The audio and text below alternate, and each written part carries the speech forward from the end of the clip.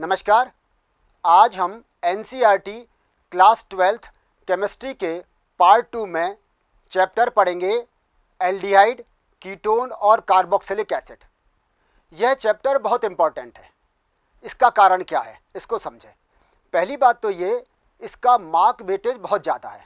जो इसके marks weightage है, जो एग्जामिनेशन के हिसाब से है, वो इसमें बहुत अधिक है। एक इसका और एक पी ब्लॉक एलिमेंट का। पहला कारण तो ये। दूसरा, इसमें नंबर ऑफ़ पीरियड्स भी बहुत ज़्यादा दिए गए हैं। क्लास पढ़ाने के लिए इसमें अधिकतम पीरियड दिए गए हैं। दूसरा, के अलावा और जो कारण हम समझने आते हैं, वो ये कि इस चैप्टर को जब हम पढ़ेंगे तो हमें इसमें रिएक्शन मैकेनिज्म देखनी होगी। रिएक्शन मैकेनिज्म क्यों देखनी होगी? वो इसलिए कि कंपटीशन एग्जामिनेशंस में यह पूछते हैं कि इसमें कौन सी रिएक्शन मैकेनिज्म है। रिएक्शन मैकेनिज्म में इंटरमीडिएट क्या बन रहा है? उस इंटरमीडिएट बनते समय कौन सा इलेक्ट्रोफाइल या न्यूक्लियोफाइल अटैकिंग स्पीसीज के रूप में काम आ रहा है या कौन सा लिविंग स्पीसीज है? तो कंपटीशन एग्ज़ाम्स में ये बहुत पूछते हैं कि यह किस प्रकार की रिएक्शन है। इसमें कौन सा इंटरमीडिएट बनेगा कौन सा न्यूक्लियोफाइल इलेक्ट्रोफाइल काम आएगा? तो उस हिसाब से भी हमें कंपटीशन के हिसाब से भी यह चैप्टर बहुत इंपॉर्टेंट हो जाता है, क्योंकि इसमें बहुत सारी नेम रिएक्शंस भी हैं। तीसरी बात इसमें ये कि यही चैप्टर आगे की क्लासेस के लिए एक आधार प्रदान करता है, एक बेस प्रदान कर रहा है। क्यों? क्योंकि इसमें कुछ रिएक्शंस दे रखी हैं। कुछ नेम रिएक्शंस भी दे रखी है। आगे की क्लासेज में आपको और ज़्यादा रिएक्शंस देखने को मिलेंगी। लेकिन उन रिएक्शंस की मैकेनिज्म का आधार इसी क्लास में बहुत अच्छे से समझाया गया है। तो आप अगर यहीं पर इस चैप्टर को ध्यान से समझ लेते हैं तो आगे की कक्षाओं में आपको दिक्कत नहीं आएगी। और चौथा ये कि इस चैप्टर में एल्डिहाइड, कीटोन और कार्बोक्सिलिक एसिड के बहुत सारे यूजेज हैं। उसके उपयोग बहुत अधिक हैं। हमारे दैनिक जीवन में इन कंपाउंड्स के बहुत अधिक उपयोग काम में आते हैं, जिसको भी हम गहराई से समझेंगे। तो इंडस्ट्रियल केमिस्ट्री में भी इसकी बहुत अधिक इम्पॉर्टेंस है। आज की क्लास में हम क्या पढ़ेंगे? आज की क्लास में हम पढ़ेंगे एल्डिहाइड, कीटोन और कार्बोक्सिलिक एसिड के एक तो जनरल फार्मूले के बारे में इनका सामान्य सूत्र क्या है। उसके बाद एल्डिहाइड और कीटोन की नॉमन क्या। इनका नामकरण किस प्रकार दिया गया? सामान्य नाम कैसे दिए गए और आई नाम कैसे दिए गए? और उसके बाद एल्डिहाइड और कीटोन की मेथड्स ऑफ़ प्रिपरेशन और रिएक्शंस के बारे में पढ़ेंगे। तो इन सभी रिएक्शंस को आपको गहराई से समझने की ज़रूरत है। एल्डिहाइड, कीटोन एंड कार्बोक्सिलिक अम्ल। वे कार्बनिक यौगिक जिनके फंक्शनल ग्रुप में कार्बन और ऑक्सीजन के मध्य डबल बॉन्ड होता है कार्बोनिल यौगिक कहलाते हैं। इसका मतलब ये हुआ, जिस किसी में सी डबल बॉन्ड होगा, वो क्या कहलाएँगे? कार्बोनिल यौगिक। एल्डिहाइड में कार्बोनिल समूह, कार्बन तथा हाइड्रोजन से, जबकि कीटोनों में यह दो कार्बन परमाणुओं से आबंधित रहता है। कार्बोनिल यौगिक जिसमें कार्बोनिल समूह का कार्बन, हाइड्रोक्सी समूह के ऑक्सीजन से जुड़ा रहता है, कार्बोक्सिलिक अम्ल कहलाते हैं। अब इस बात को आप फॉर्मूले से समझिए। आपको यहाँ फॉर्मूला दिखाई दे रहा होगा। इसमें देखो, ये जो सी डबल बॉन्डो समूह, जो कार्बोनिल समूह है, इसमें यदि एक आवश्यक रूप से हाइड्रोजन है, आपको पहले पहले फॉर्मूले में हाइड्रोजन दिखाई दे रहा है, और दूसरा एल्काइल ग्रुप भी हो सकता है एराइल ग्रुप भी हो सकता है, और हाइड्रोजन भी हो सकता है, तब तो ये कहलाएँगे एल्डिहाइड तो हमने क्या समझा, जिसमें कार्बोनिल समूह में एक कार्बन से एक आवश्यक रूप से हाइड्रोजन जुड़ा हुआ हो। दूसरा जो हमें आगे दिखाई दे रहा है, इसमें हाइड्रोजन नहीं होगा, जो कार्बोनिल समूह का कार्बन है इससे या तो दोनों एल्काइल ग्रुप जुड़े हुए होंगे, या एल्काइल और एराइल ग्रुप हो सकते हैं। तब ये कहलाएगा कीटोन समझ में आ गया? तो आर सी ओ आर हो गया कीटोन और आर सी एच हो गया एल्डिहाइड अब इससे आगे की बात समझें, तीसरा फॉर्मूला ध्यान से देखें। जिसमें कार्बोनिल समूह के कार्बन में हाइड्रोक्सी समूह या ओ OH समूह ओ के द्वारा जुड़ा हुआ है, वो कहलाते हैं कार्बोक्सिलिक अम्ल। तो यानी कि R C double O H क्या हो गए? कार्बोक्सिलिक अम्ल हो गए। अब कार्बोक्सिलिक अम्ल के चार डेरिवेटिव्स होते हैं। उन डेरिवेटिव्स में या व्युत्पन्नों को हम ध्यान से समझें ओ OH को हटा दीजिए। ओ OH को हटाकर एन लगा दें। हमने हाइड्रोक्सिल ग्रुप हटाया और एन ग्रुप लगा दिया। तब ये कहलाएगा अमाइड है ये कार्बोक्सिल अम्ल का डेरिवेटिव अमाइड कहलाएगा। अगर ओ OH को हटा दें और उसकी जगह क्या लगा दें? हेलोजन लगा दें। एक्स ग्रुप एक्स मतलब हेलोजन तो ये एसाइड हेलाइड कहलाते हैं, या एसिड हेलाइड भी कहते हैं। तो ये भी कार्बोक्सिलिक अम्ल का डेरिवेटिव कहलाता है, या व्युत्पन्न कहलाता है। इसके अलावा यदि हम क्या करें ओ OH की जगह ओ OR ग्रुप जुड़ा हुआ हो, यानी कि एल्कोक्सी ग्रुप जुड़ा हुआ हो, तब ये कहलाते हैं एस्टर और एस्टर भी कार्बोक्सिलिक अम्ल के डेरिवेटिव हैं। इसके अलावा यदि ओ OH की जगह ओ सी ओ आर ग्रुप जुड़ा हुआ हो, तब भी वो एनहाइड्राइड कहलाते हैं और वो भी कार्बोक्सिलिक अम्ल के डेरिवेटिव होते हैं।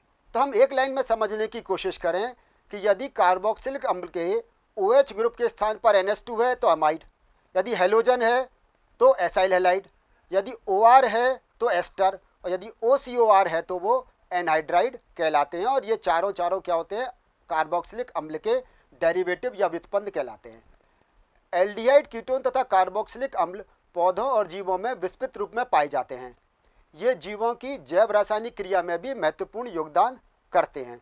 जैसा कि मैं पहले भी कह रहा था कि इनके इंपॉर्टेंस बहुत है, इनके यूजेस बहुत हैं। तो देखो, प्रकृति में ये सुगंध और स्वाद प्रदान करते हैं।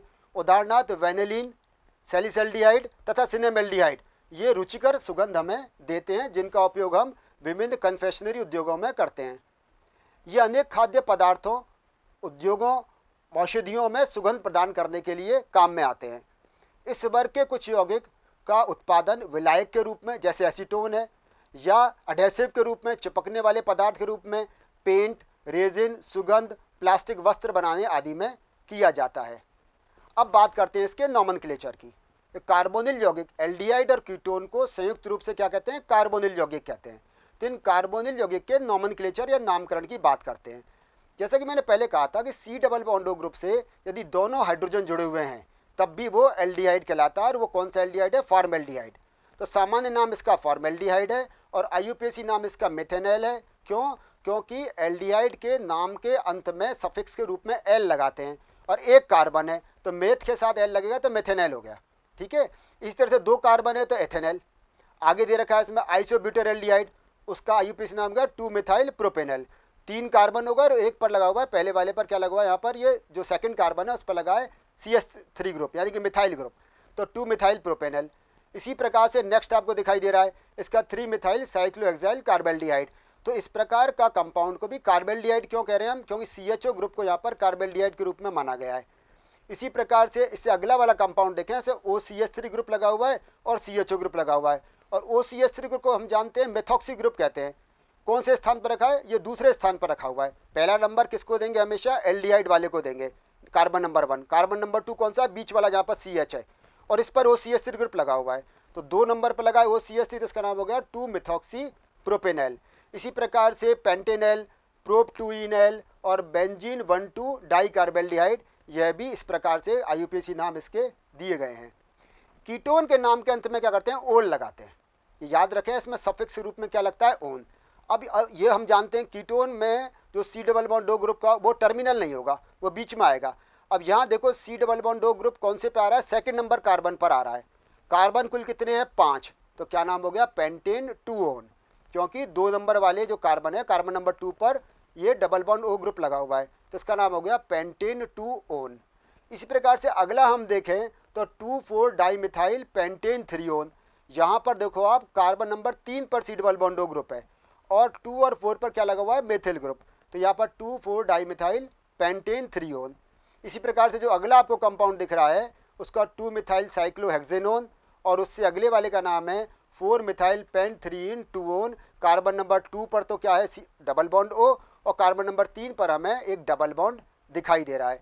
इसलिए इसका नाम हो गया four methyl pentane pent three ene two one और इसको आपने वैसे क्लास इलेवेंथ में, इसको पहले डिटेल में आप पढ़ चुके हैं। इसकी स्ट्रक्चर या संरचना के बारे में बात करते हैं। इसको आप ध्यान से देखें। ये कार्बोनिल समूह में कार्बन परमाणु sp2 संकरित होता है। तो हाइब्रिडेशन कौन सा है इसमें? sp2 sp2 में तीन सिग्मा बॉन्ड हो गए। और तीन सिग्मा बॉन्ड में से एक किसके साथ हो गया? ऑक्सीजन के साथ में। अब बाकी दो या तो एल्काइल ग्रुप के साथ या फिर हाइड्रोजन के साथ या फिर एराइल ग्रुप के साथ में। अब ये जो sp2 हाइब्रिडाइजेशन है, इसके कारण से ये तीनों तो हो गए एक प्लेन में। ये क्या हो गए? एक ही तल में हो गए। अब कार्बन और ऑक्सीजन इस पर बच गया एक एक अन हाइब्रिड ऑर्बिटल जिसने संकरण में भाग नहीं लिया है। वो जो पी ऑर्बिटल है, वो होता है इसके लंबवत, वो होता है इसके परपेंडिकुलर और वो मिलकर क्या करते हैं, ये आपस में पाई बॉन्ड बना लेते हैं। तो आपको ये दिखाई दे रहा होगा, आगे से पाई बॉन्ड बना हुआ है और पाई बॉन्ड में भी इलेक्ट्रॉन डेंसिटी ऑक्सीजन की तरफ़ ज़्यादा दिखाई दे रही है। सेकंड वाले चित्र को ध्यान से देखो। क्यों? क्योंकि ऑक्सीजन की इलेक्ट्रॉन नेगेटिविटी ज़्यादा होती है। और थर्ड वाले में देखो आप ध्यान से कि जो बॉन्ड एंगल है वो कितना दिखाई दे रहा है हमें? 120 डिग्री का दिखाई दे रहा है। तो कार्बन और ऑक्सीजन में एक तो होता है सिग्मा बॉन्ड और एक होता है पाई बॉन्ड। ठीक है? इसके अतिरिक्त इसमें दो जो ऑक्सीजन एटम है, उस पर दो लोन पेयर ऑफ़ इलेक्ट्रॉन भी प्रेजेंट रहते हैं, क्योंकि वो बॉन्डिंग में पार्टिसिपेट नहीं करते हैं। जैसे हमने पहले बात की कि बाकी सब एक प्लेन में होंगे, लेकिन जो पाई बॉन्ड है वो कैसा होगा? परपेंडिकुलर होगा, और जो उनकी बॉन्ड एंगल है, उसकी वैल्यू कितनी होगी? 120 डिग्री होती है। कार्बोनिल समूह का निर्माण और कक्ष की आरेख।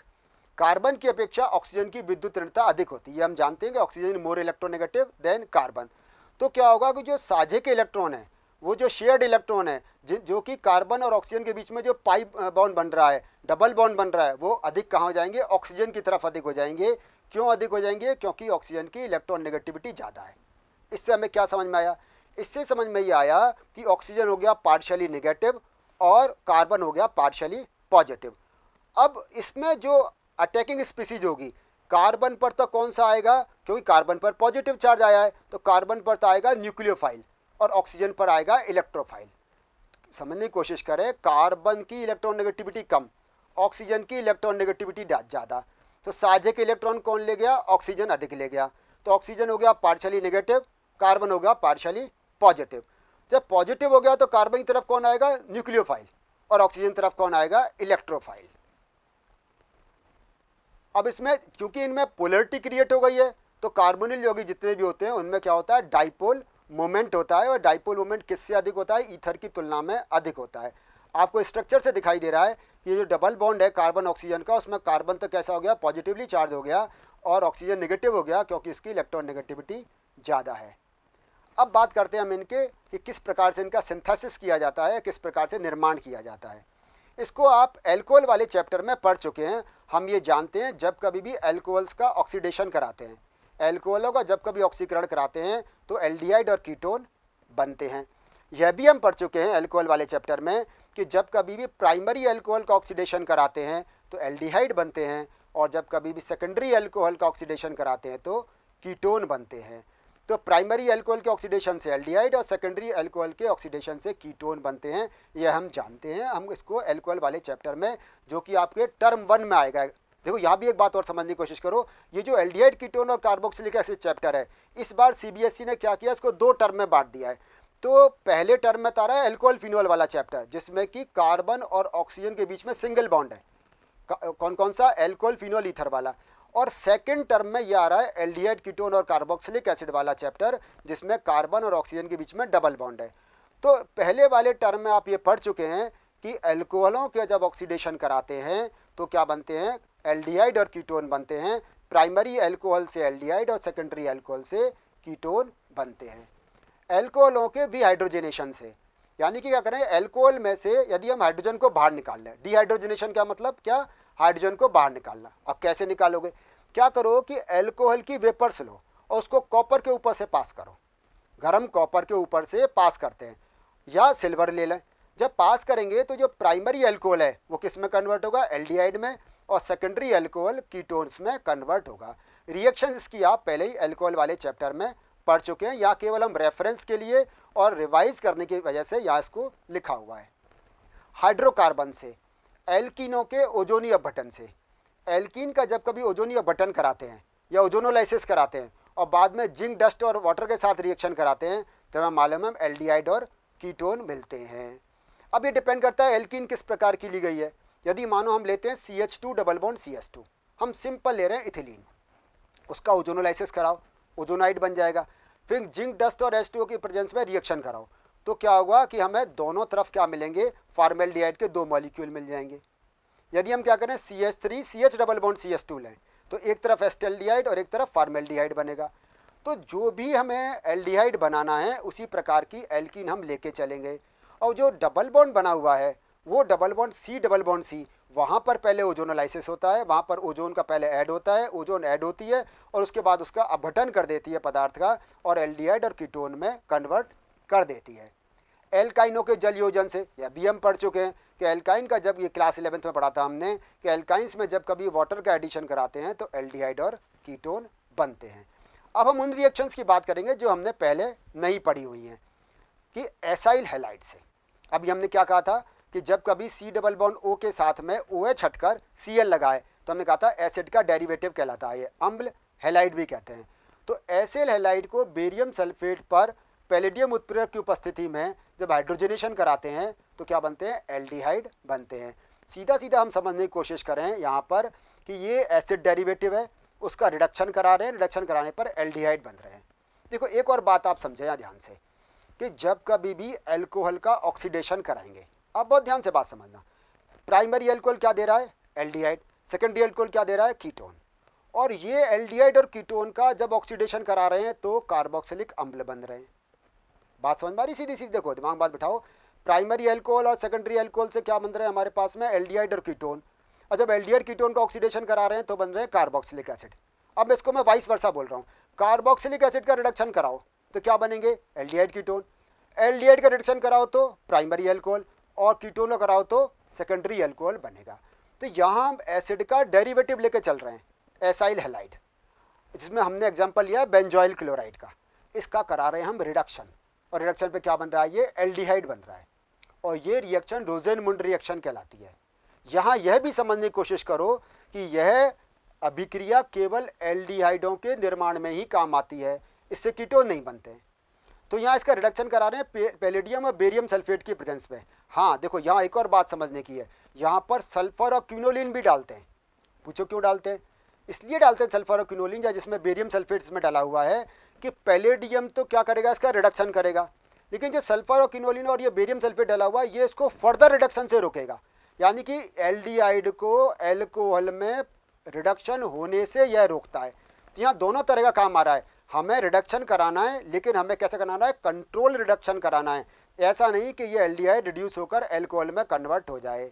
इसलिए ये इंपॉर्टेंट रिएक्शन है कि यहाँ पर केवल एल्डिहाइड बनते हैं, जब हम पैलेडियम के साथ साथ बेरियम सल्फेट और सल्फ़र और किनोलिन भी लेते हैं। ठीक है? इससे कीटोन नहीं बनते। और याद रखें इसको, रोजनमुंड रिएक्शन कहते हैं। एग्ज़ाम में आए, रोजनमुंड रिएक्शन क्या है? तो आपको रिएक्शन याद रखनी है। नाइट्राइल एवं एस्टर से हाइड्रोक्लोरिक अम्ल की उपस्थिति में नाइट्राइल स्टेनस क्लोराइड द्वारा कॉरेस्पॉन्डिंग इमीन्स में परिवर्तित हो जाते हैं। और ये इमीन्स जल बटन पर क्या देते हैं? एल्डिहाइड देते हैं।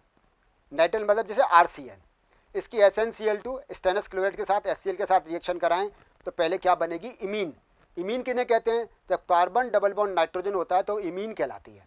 तो R C H double bond N H बन गया, ये बन गई इमीन। इस इमीन का जब हाइड्रोलाइसिस कराएँगे तो क्या बनेगा? एल्डिहाइड बनेगा। और ये रिएक्शन क्या कहलाती है? स्टीफेंस रिएक्शंस कहलाती है। इस चैप्टर को, जैसे मैंने पहले भी कहा, इसको पढ़ते समय आप जो भी नेम रिएक्शंस हैं, उनको ध्यान में रखें। एक और काम करें आप। ये नेम रिएक्शंस को आप बिना देखे भी लिखने की कोशिश करें। आगे कुछ मैं मैकेनिज्म भी बताऊँगा। उन मैकेनिज्म को भी बिना देखे लिखने की कोशिश करें। क्यों? क्योंकि एग्ज़ाम में आएगी तो इस हिसाब से आपको याद होनी चाहिए रिएक्शन क्या है? किस रिएक्शन के नाम से कौन सी रिएक्शन है? या रिएक्शन दे दे तो उसका नाम क्या है? यह आपको मालूम होना चाहिए। और साथ ही साथ इसकी मैकेनिज्म या क्रियाविधि भी आपको पता होनी चाहिए। तो ये जो रिएक्शन है, जिसमें हम नाइट्राइल से स्टेनस क्लोराइड और एस के साथ बना रहे हैं, पहले एमीन बन रहा है, और और उसका हाइड्रोलाइसिस कराने पर हमें एल्डिहाइड बन रहे हैं। ये रिएक्शन स्टीफन अभिक्रिया कहलाती है। इसके अलावा और क्या कर सकते हैं? नाइट्राइल को डाई आइसोब्यूटिल एल्यूमिनियम हाइड्राइड। इसके द्वारा भी हम रिडक्शन करा सकते हैं। सिलेक्टिव रिडक्शन कराएँगे, इमीन बनेगा, और वो भी क्या करेगा? यहाँ पर जल बटन पर एल्डिहाइड में कन्वर्ट हो जाएगा। तो यहाँ क्या करना है हमें? S N C L two और एस क्या लेना है? यहाँ पर हमें डाई आइसोब्यूटाइल एल्यूमिनियम हाइड्राइड। ये क्या है? कि रिड्यूसिंग एजेंट है। और रिड्यूसिंग एजेंट भी कैसा है? ये सिलेक्टिव रिड्यूसिंग एजेंट है, जिससे केवल हमें एल्डिहाइड प्राप्त होते हैं। इसी प्रकार एस्टर और नाइट्राइल से भी यही डाई आइसोब्यूटाइल एल्यूमिनियम हाइड्राइड काम में लेते हैं और ये भी रिडक्शन पर एल्कोहल एल्डिहाइड देते हैं। हाइड्रोकार्बन से। एरोमेटिक हाइड्रोकार्बन बेंजल्डिहाइड और उसके वित्पन्न एरोमेटिक हाइड्रोकार्बन द्वारा भी इसी विधि से हम बना सकते हैं। अब इसको समझो, देखो। मेथिल बेंजीन के ऑक्सीकरण द्वारा क्रोमाइल क्लोराइड का उपयोग करते हैं इसमें। क्रोमाइल क्लोराइड का उपयोग करने से मेथिल समूह को एक क्रोमियम संकुल में ऑक्सीकृत कर देता है और जो जल बटन द्वारा ये क्या देता है? बेंजल्डिहाइड देता है। रिएक्शन को समझो, देखो, ये टॉलुइन है जैसे। अब टॉलुइन में आपको सी एस थ्री ग्रुप दिखाई दे रहा है। ये जो सी एस थ्री ग्रुप है, ये किसमें कन्वर्ट हो जाएगा? ये सी एच ओ ग्रुप में कन्वर्ट हो जाएगा। C R O two C L two क्या है यहाँ पर? Chromyl chloride carbon disulphide solvent के रूप में ये रिएक्शन में काम में लेते हैं। तो सॉल्वेंट यहाँ पर कार्बन डाइसल्फाइड है। क्रोमाइल क्लोराइड यहाँ पर एक रिएजेंट के रूप में काम आ रहा है। और टोलुइन का सी एच थ्री ग्रुप यानी कि मिथाइल ग्रुप किसमें कन्वर्ट हो रहा है? सी एच ओ ग्रुप में कन्वर्ट हो रहा है। और ये रिएक्शन क्या कहलाती है? एटार्ड रिएक्शन कहलाती है। तो आपसे कोई पूछे एटार्ड रिएक्शन क्या है? तो आपको याद होनी चाहिए, जिसमें टॉलुइन की रिएक्शन क्रोमाइल क्लोराइड से करा रहे हैं कार्बन डाइसल्फाइड की प्रेजेंस में। पहले क्रोमियम संकुल बन रहा है, जो बाद में एल्डिहाइड में परिवर्तित हो रहा है। क्रोमिक ऑक्साइड के उपयोग से सी से। टॉलुइन या फिर सब्सटीट्यूटेड टॉलुइन को। एसिटिक एनाइड्राइड में क्रोमियम ऑक्साइड के साथ रिएक्ट कराने पर बेंजिलिडीन डाइएसिटेट बनता है। पहले क्या बनेगा? बेंजिलिडीन डाइएसिटेट फिर इसका कराएँ अम्ल की उपस्थिति में हाइड्रोलाइसिस तो क्या बन जाता है? बेंजल्डिहाइड प्राप्त हो जाता है। अब समझो देखो, पहले हमने क्या लिया था? टॉलुइन ली थी, वही टॉलुइन ले रहे हैं। क्योंकि पहले हमने क्या लिया था? उससे पहले हमने क्रोमाइल क्लोराइड लिया था। यहाँ ले रहे हैं क्रोमियम ऑक्साइड और साथ साथ एसिटिक एनहाइड्राइड ले रहे हैं। इस एसिटिक एनाइड्राइड और क्रोमियम ऑक्साइड के साथ पहले क्या बन रहा है? एक बेंजिलिडीन डाइएसिटेट बन रहा है। और यह बेंजिलिन डाइएसिटेट जब अम्ल की उपस्थिति में स्कार्डोलाइसिस करा रहे हैं तो ये बेंजल्डिहाइड में परिवर्तित हो जा रहा है। पार्व श्रृंखला क्लोरीनेशन के पश्चात जल भटन से। टॉलुइन साइड चेन हेलोजिनेशन या क्लोरीनेशन द्वारा पहले बेंजल क्लोराइड बनाती है, जो जल बटन द्वारा बेंजल्डिहाइड देती है। यह बेंजल्डिहाइड के औद्योगिक उत्पादन की विधि है। अब यहाँ समझे देखो टॉलुइन दिख रहा है आपको। ये टॉलुइन क्या? हम सूर्य के प्रकाश की उपस्थिति में क्या कराएँगे? Cl2 से या क्लोरीन से रिएक्शन कराएँगे। तो ये किसमें कन्वर्ट हो जाएगा? C6H5CHCl2 ठीक है? ये C6H5CHCl2 को या तो कहते हैं बेंजल क्लोराइड या ये कहलाता है बेंजिलिडीन क्लोराइड आपने पढ़ा है ये कि जब एक ही कार्बन पर हों, दो हेलोजन ग्रुप तो हमें तो उसको हम बेंजिलिडीन क्लोराइड कह रहे हैं। बेंज क्योंकि बेंजीन है, उसके साथ में जैसे जैसे इथिलिडीन क्लोराइड बोलते थे, है ना? उसी तरह, जैसे ये जेम डाइहेलाइड है जेम डाइलाइड क्यों है? क्योंकि एक ही कार्बन पर दो हेलोजन है। और जेम डाइलाइड में भी कौन सा वाला है ये? क्योंकि बेंजीन में है तो ये बेंजिलिडीन क्लोराइड है। इसका दूसरा नाम बेंजल क्लोराइड भी है। अगर यहाँ पर तीन क्लोरीन होते सी सी एल थ्री होता तो बेंजो ट्राइक्लोराइड कहलाता। ठीक है ना? चलिए। और C H two C L होता तो बेंजाइल क्लोराइड कहलाता। लेकिन बन क्या रहा है यहाँ पर? ये बेंजल क्लोराइड। अब इस बेंजल क्लोराइड में से दोनों क्लोरीन हटानी है और वाटर जोड़ना है। तो क्या बन जाएगा? ये एल्डिहाइड ग्रुप में कन्वर्ट हो जाएगा, यानी कि बेंजल्डिहाइड बन जाता है। तो बेंजल्डिहाइड बनाने की ये कॉमर्शियल मेथड है, ये ये एक औद्योगिक विधि इंडस्ट्रियल मेथड है, और इससे टोलुइन को हम क्लोरीन की से किसमें कन्वर्ट कर लेते हैं? बेंजल्डिहाइड में कन्वर्ट कर लेते हैं। गाटरमन कोक रिएक्शन जब बेंजीन और इसके डेरिवेटिव्स की एनाइड्रस एल्यूमिनियम क्लोराइड या क्यूप्रस क्लोराइड की उपस्थिति में कार्बन मोनोक्साइड और एचसीएल के साथ अभिक्रिया कराते हैं तो बेंजल्डिहाइड या फिर सब्सटीट्यूटेड बेंजल्डिहाइड बनता है।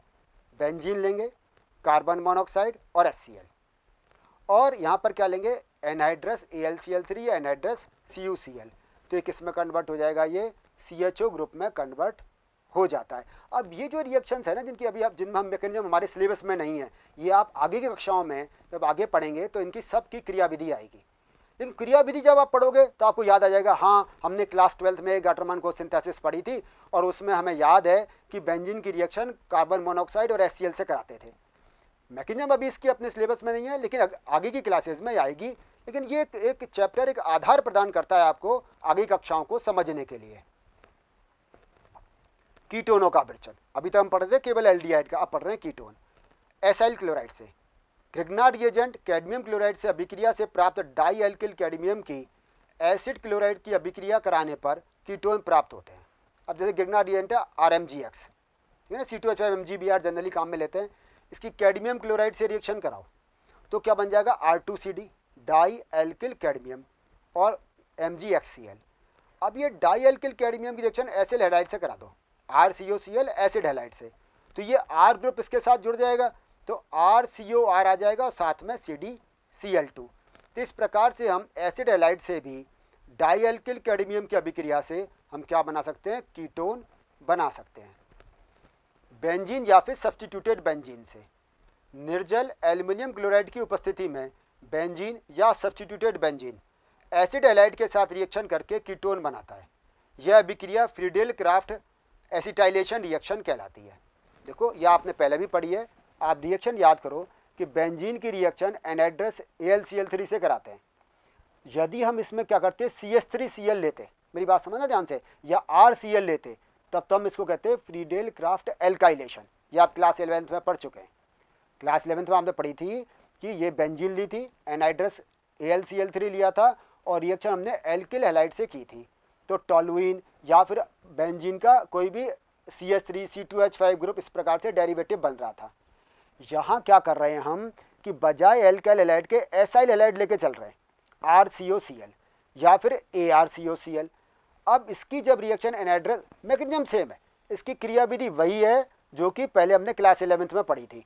इसकी जब हम रिएक्शन कराएँगे तो क्या बन जाएगा? देखो A L C L four negative और R C O positive class eleventh का आपको ध्यान होगा A L C L three जब R C O C L से रिएक्शन करेगा तो A L C L four negative R C O positive बन जाएगा। अब ये जो R C O positive positive charge किस पर आएगा? कार्बन पर। ये कार्बन बेंजीन के किसी भी एक कार्बन के साथ जुड़ेगा। बेंजीन के किसी भी एक कार्बन के साथ जुड़ जाएगा। फिर जैसे हम यहाँ देख रहे हैं, यहाँ बेंजीन के कार्बन के साथ ये जुड़ गया और वहाँ से एच बाहर निकलेगा। वो जो एच बाहर निकलेगा, वो A L C L four negative जो बनाता उससे A L C L three और एच सी एल बना देगा। तो A L C L three हमें वापस मिल जाता है। तो रिएक्शन में क्या हुआ? आर सी ओ ग्रुप जुड़ गया। और साथ में एच बाहर निकल जाता है। तो ये reaction Friedel Crafts acetylation reaction कहलाती है और इससे हमने क्या किया? एरोमेटिक कीटोन्स बना सकते हैं। अगर यहाँ पर जैसे सी एस थ्री ग्रुप होता, यहाँ ए आर और आर लिखा है ना सी एस थ्री होता तो ये क्या कहलाता? एसिटोफिनोन तो हम कहते हैं हम इसने एसिटोफिनोन बना लिया। तो कहने का मतलब ये हम लें C S three C O C L या हम क्या लें? C H three C O C L तो बन जाएगा एसिटोफिनोन यदि हम लें C six H five C O C L तो यहाँ पर ए आर और आर की जगह क्या आ जाएगा? सी सिक्स एच फाइव तब बन जाएगा ये बेंजोफिनोन। नाइट्राइल से। नाइट्राइल व ग्रीनियर अभिकर्मक की अभिक्रिया से प्राप्त उत्पाद का जल बटन कराने पर कीटोन बनते हैं। आप देख रहे हैं यहाँ पर हमने प्रोपेन नाइट्राइल लिया है C H three C H two C N अब इसकी six H five M G B R से रिएक्शन कराई। अब आप देख रहे हैं यहाँ पर ये जो सी डबल बॉन्ड एन पर क्योंकि यहाँ पर कार्बन और नाइट्रोजन में इलेक्ट्रोनेगेटिव ज़्यादा कौन है? नाइट्रोजन। तो नाइट्रोजन साझे के इलेक्ट्रॉन ले जाएगा। साझे के इलेक्ट्रॉन ले जाएगा तो जो M C six H five M G B R में से एम जी पॉजिटिव हुआ। ये एम जी पॉजिटिव किसके साथ जुड़ेगा? एन पर जाकर। और ये जो C C five negatively charge था, ये किस पर जुड़ गया? कार्बन पर। तो सेकेंड वाले फॉर्मूले को आप ध्यान से देखो कि ये जो नाइट्रोजन जिस पर इलेक्ट्रॉन डेंसिटी ज़्यादा थी, उस पर तो एम जी बी आर आ गया। और कार्बन जिस पर इलेक्ट्रॉन डेंसिटी कम हो गई थी उस पर सी सी एस फाइव जाकर जुड़ जाता है। जब इसका हम हाइड्रोलाइसिस करा रहे हैं तो ये जो double bond N M G B R है, वो तो निकल जाएगा N S two M G B R की के रूप में और यहाँ पर C double bond O group आ जाएगा।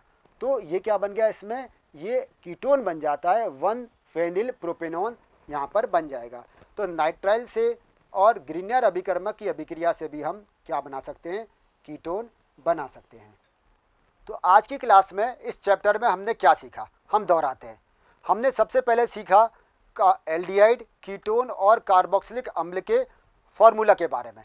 कि उनका सूत्र किस प्रकार से है? कैसे उनको पहचानेंगे? फिर उसके बाद हमने उनकी नॉमन के बारे में जाना। उनकी नामकरण पद्धति किस प्रकार की है? सामान्य नाम किस प्रकार दिए जाते हैं? और आई नाम किस प्रकार से दिए जाते हैं? उसको हमने सीखा। उसके बाद हमने कार्बोनिल समूह की प्रकृति के बारे में जाना।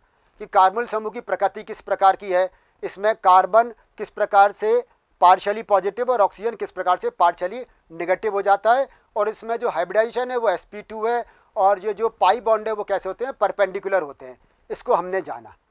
उसके बाद हमने फिर इसकी मेथड्स ऑफ़ प्रिपरेशन की बात की कि सामान्य एल्डिहाइड कीटोन ऐसी विधियाँ जिनसे एल्डिहाइड कीटोन दोनों बनाए जा सकते हैं, उनके बारे में हमने जाना। उसके बाद हमने सीखा कि ऐसी कौन कौन से मेथड्स हैं जिनसे केवल एल्डिहाइड बनाए जा सकते हैं। जैसे हमने देखा था, रोजन मुंड रिएक्शन देखी थी। उनके हमने रिएक्शंस क्या है, उसके बारे में जाना। और उसके बाद हमने सीखा कि केवल कीटोन किन किन विधियों के द्वारा बनाए जाते हैं।